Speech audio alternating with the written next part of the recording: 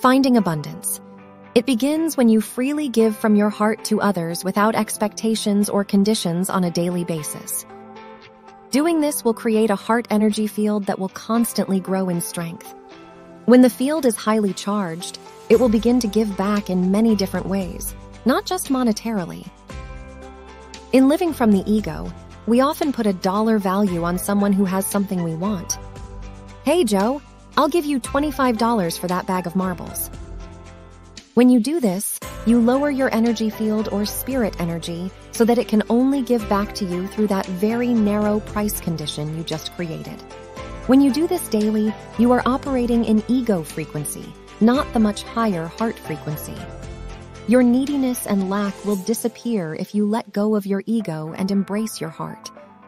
When you learn to do this, you will put yourself on a timeline of abundance that contains much love, peace, and prosperity. If you do this, you'll be known as an energy philanthropist. Why don't you try experimenting with this and see what happens? What have you got to lose? And they said, listen, they said, it does not matter if you need a $1 or if you need a $1 million. It's an illusion. It's a hologram.